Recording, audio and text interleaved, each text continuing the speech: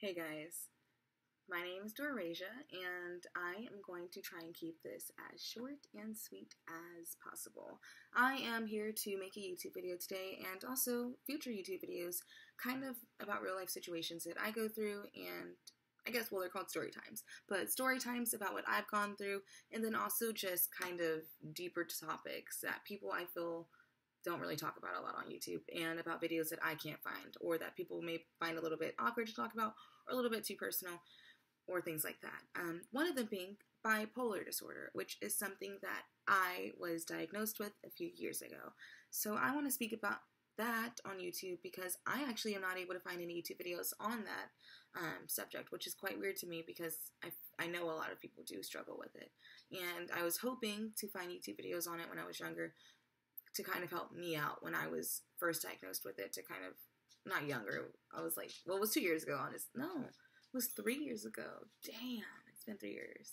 It's been three years. So yeah, I was younger because three years has been a while. But anyway, I couldn't find any YouTube videos on it, and um, yeah, I really feel that it's something a lot of people aren't really aware of, and a lot of people actually do have, and people just don't talk about it.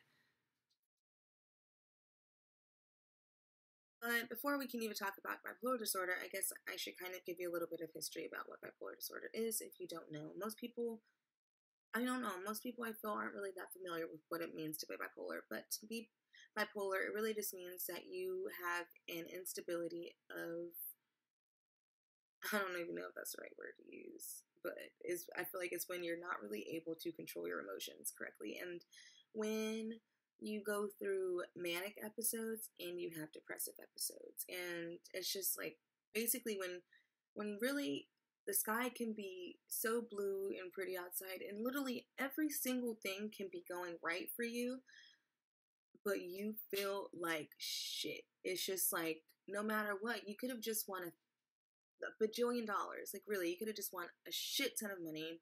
You could have just paid off all your loans and you could have just gotten like the guy of your dreams to like want to propose to you, all those things could happen, and you would still feel like you don't want to get out of bed and you don't want to see anyone, you don't want to talk to anyone, and that's when you're going through a depressive episode. And then sometimes you could just be feeling really, really, really great, but not even just like a normal great. It's like you feel on top of the world, like you feel so strong, you feel so confident, and that's manic. It's just when you feel there's a word for it. I can't think of it, but you just feel very like you just feel very, very, very happy and overjoyed, and like over, over, overjoyed. Like, and you and a lot of like not a lot, but I, I'm I'm gonna use. I don't mean to use the word a lot, if I use it, but um, yeah, you feel very overjoyed and everything, and it's just a few people that have bipolar disorder that are that go through their manic episodes end up buying a lot of stuff whenever they go through those episodes because they feel like they are just in in control of everything and they feel like they can just spend whatever they have even if it's so even if it's the last few dollars they have they just feel so great in that moment and they feel so happy and proud and strong and confident that they're willing to spend all of what they have even if even if they're going to be fucked the next day. It's just like because they're going through that manic it's just they're just they're just feeling overjoyed and I don't know, that's kind of the extremities of it. I I have bipolar disorder, but I don't have and that's bipolar disorder one, I feel like. All of those things are really described. Like that's bipolar disorder one, and bipolar disorder two is like that, but just at a smaller scale. And for me, for me personally, I have bipolar disorder two. I don't really have those super manic episodes where I just like feel very, very overjoyed. Like I have manic episodes where I feel very confident myself, like overly confident and like happy, but not to the point where I lose a little bit of grasp of reality and like what really should happen and what I really should do. Um so but that's that's with being manic. When it comes to my depressive episodes, I really like I don't lose grasp of reality but I really do go through it sometimes. Like I really just can't get myself out of it no matter how hard I try. And it's it's really hard, especially when you're around people that you love and you feel like you're bringing them down because you kind of are bringing them down because you're so down and it's just like nothing they do to help you get in a better mood will work. And it sucks. And yeah, it was, that was a really long description. I'm sorry. You probably you didn't have to really watch that whole thing. I guess you could have just Googled it yourself. But I don't know. I feel like it's a little bit better to hear it coming from someone that actually kind of has it versus hearing it come from a dictionary, you know? Um, but I will say, I probably didn't really describe it perfectly. So if you want to look into it, you probably should. But yeah, so I have a few things pulled up on my phone that I'm going to talk about that I wrote that, I don't know, I just feel like might may interest a few people. Um, so yeah, the reason why I'm talking about this, like I said, is because I really don't see anything like this online.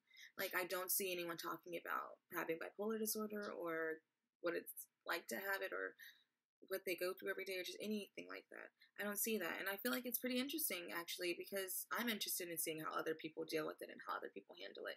So I think what I'm going to do is I'm probably going to kind of do, I don't know, not weekly, but like I'm gonna probably do follow up videos on stuff like this. Not follow up, but I'm gonna keep talking about this because it's something. Sorry, I'm making my nose piercing because it's something that I don't know. I'm very strong.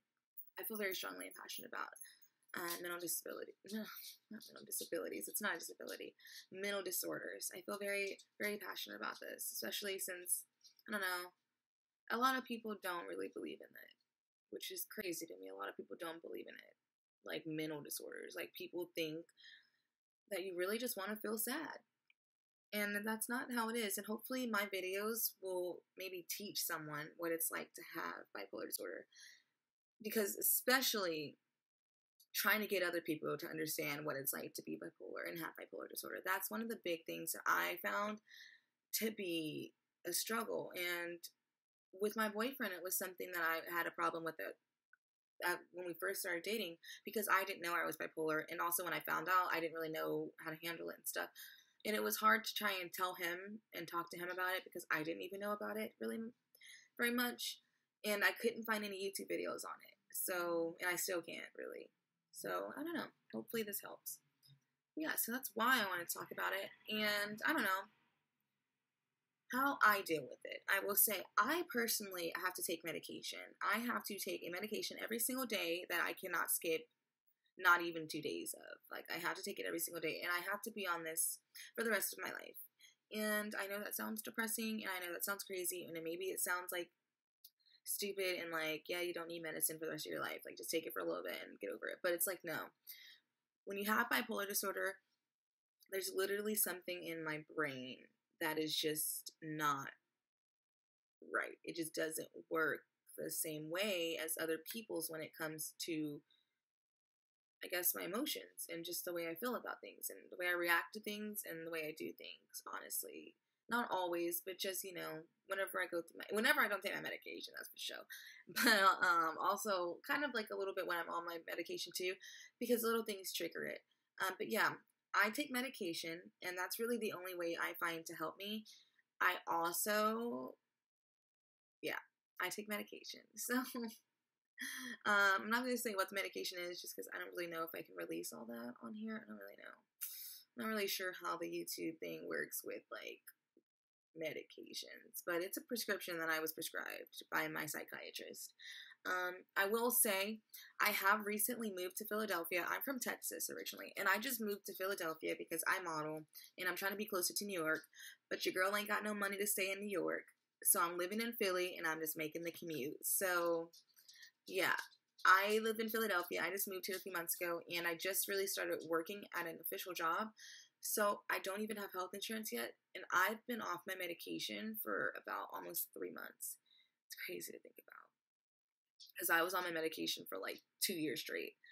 And yeah, so I'm, I feel like my computer moved a little bit.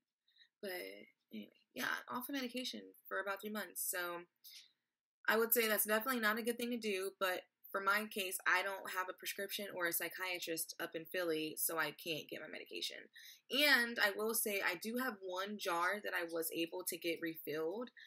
But I have such a high doses of my medication, I don't know if I can even take it since I've been off of it for so long. So I'm scared to even go and buy it. Plus, it's like $80 to buy because I don't have insurance. It's just, ugh, it's just so much. It's really so much. And I'm going, and I'm going through it. And that's really not helping. But, um, that'll be another video. that'll be another video. But yeah, so I did just move here from Texas. So if you have any questions on what it's like to move out of state, like cross country out of state, but what it's like to move out of state, or what it's like to move in general and get on your own two feet and like you know well i i moved with my boyfriend. We both moved. So if you have a question about like what it's like to move with your boyfriend as well let me know. Definitely leave it in the comments for me because i am here to answer that.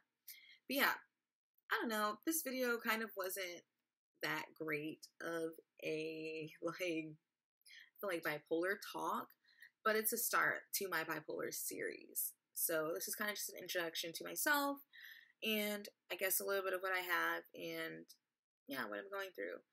So yeah, my name is Doraezha and yeah, I live in Philly and I just moved here from Texas. So I am just trying to make it up here while off my medication. so it was really hard to be honest with you, but I'm doing it. And yeah, I'm gonna definitely make more videos. Um, it is like really late though, so I should probably go to bed because I have work tomorrow. And as I will let you guys know in further videos, one of the things that mess with being bipolar is lack of sleep. And since I'm off my meds, I need as much sleep as I can get, and I really need to just try and be as good as I can with staying in line. So yeah, but I would definitely be making another video. This is actually really fun, and I felt I don't know, I felt a lot more comfortable after talking for a bit. So uh, I'll make another video after I guess I post this one.